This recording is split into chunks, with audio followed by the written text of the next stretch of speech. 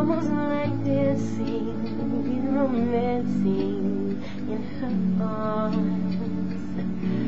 It's just a part of me.